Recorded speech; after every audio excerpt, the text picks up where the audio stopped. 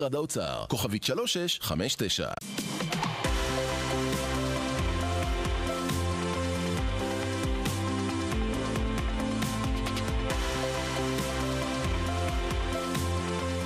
חזרתם אלינו. בוקר בריאות, שלום לדוקטור ניסים אוחנה, מנהל האגף האורתופדי במרכז הרפואי מאיר. באיזה מקרים יכולים להיות, יכול להיות הבדל בין הרגליים, רגל אחת קצרה או ארוכה, או לשם שינוי אחת יותר ארוכה והשנייה יותר קצרה? נתחיל בזה שההפרש באורך הרגליים קיים אצל חלק גדול מאיתנו שבכלל לא מודע לקיומו של אותו הפרש. עשו מחקר על מתגייסים לצבא האמריקני וגילו שבערך 30 אחוז מהמתגייסים, שהיו אנשים בריאים לחלוטין, יש להם הפרש באורך הרגליים, אבל ההפרש הוא הפרש נסבל.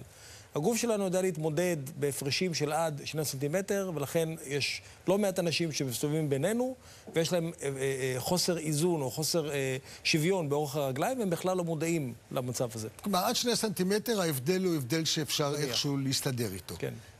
איך זה משפיע אם זה יותר משני סנטימטר? אז כאשר זה נעשה אה, מעבר לשני סנטימטר, זה הופך להיות נראה לעין, ולרוב האנשים נצלעו כיוון שהרגליים לא מאוזנות.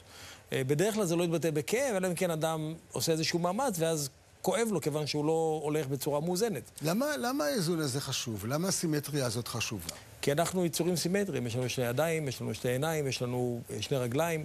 אה, שתי רגליים, והמצב הזה בהחלט דבר שאנחנו זקוקים לו כדי ללכת בצורה מאוזנת ונכונה, וכשזה קורה וההפרש הזה קיים, אז אין הליכה מאוזנת, אז ההליכה היא צולעת. ואז מופיעים שינויים משניים כמובן. בהחלט. ב- כאשר ההפרש באורך הרגליים אה, אה, הופך להיות מוחשי והופך להיות אה, בעייתי, כמו שאמרתי, מעבר ל, אה, לשני הסנטימטר שדיברנו עליהם, אז הדבר גורם, מעבר לצליעה, יכול לגרום לבעיות בגב התחתון, ויכול לגרום לכאב באופן משני. איך מטפלים בחוסר איזון של רגליים? כאשר מדובר בחוסר איזון שמתגלה באקראי, אותו מצב שדיברתי עליו קודם לכן, שהוא מצב קיים באוכלוסייה הבריאה ולא מפריע לכלום, אין צורך לעשות שום דבר. בכל אדם, כאשר מדובר באדם בוגר, אדם שסיים את, התבג... את uh, צמיחת הגפיים שלו, לא בילד, אז אנחנו לא מחויבים לעשות שום דבר אם מדובר בהפרש של עד שני סנטימטר. כאשר זה עובר את הגבול הזה, אז אם מדובר בהפרש שהוא עד חמישה סנטימטר, אפשר לטפל במדרסים. כלומר, נעל אורתופדית כן, שתעשה הגבהה של רגל אחת, בדיוק. ואז נגיעו לאיזון. שהיא מאזנת את הרגליים, ואז הדבר הזה בהחלט אה, אה, ניתן אה, אה, ליישום, ואנשים מסתובבים בצורה כזאת בלי שהם מרגישים מוגבלים בשום צורה שהיא. כן. אם מדובר מעל חמישה או שישה סנטימטר, אז כבר מדברים על פתרונות כירורגיים. פתרונות בעצם מנסים להתמודד עם ההפרש באורך הרגליים. איזה פתרונות כירורגיים ישנם להערכת רגליים?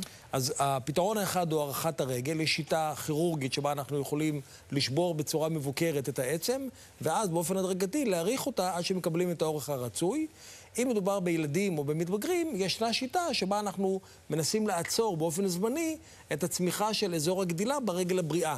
כלומר, אנחנו יודעים שיש הפרש, רגל אחת קצרה ושנייה ארוכה, אבל אנחנו דווקא מטפלים בזאת שהיא ארוכה. ארוכה. ומקצ... ועוצרים באופן זמני את הגדילה שלה. מה אנחנו רואים ב...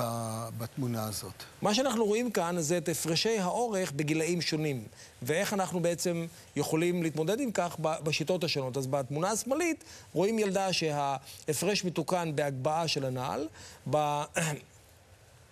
ילד שלידה, או בדמות שלידה, מספר 2, אנחנו רואים מצב שבו אנחנו עוצרים את אזורי הגדילה סביב הברך ברגל שארוכה יותר ולא ברגל הקצרה, ובאלה שליד אנחנו רואים אה, מסמר תוך לשדי, שזאת שיטת הערכה, שבה אין לנו שום דבר חיצוני ויש לה היום מקום במקרים מסוימים. בדמות הלפני האחרונה אנחנו רואים מצב שבו אנחנו בעצם עושים את אותו דבר, אבל עם מערכת חיצונית, מה שנקרא שיטת אליזרוב.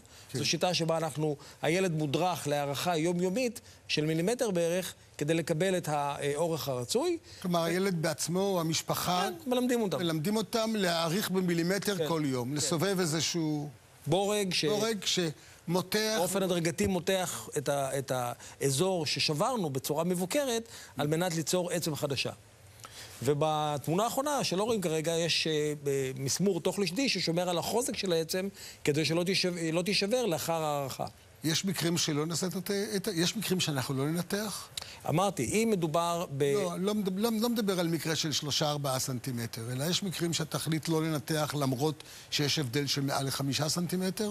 אם מדובר בהפרשים של אה, מעל חמישה או מעל שישה, מעל עשרה, הפרשים גדולים זה מדי, ברירה, כן. אז מדובר על איזושהי פרוטזה. אבל באופן כללי, אם יש אה, אדם שהקיצור של הגפה מאוד מפריע לו, ההליכה שלו היא לא סימטרית ומפריעה, אז מחובתנו לטפל. לא, לא, תהיה, לא תהיה החלטה שלא לטפל, אלא אם כן החולה לא רוצה. אלא אם הוא לא רוצה. תודה רבה לדוקטור אוחנה. זה הכל להיום. תודה לכל מי שהתארח כאן. מחר ב-11 תוכנית נוספת של בוקר בריא, ועד אז, המשך יום מקסים שיהיה לכם, והכי חשוב, שנהיה בריאים. בוקר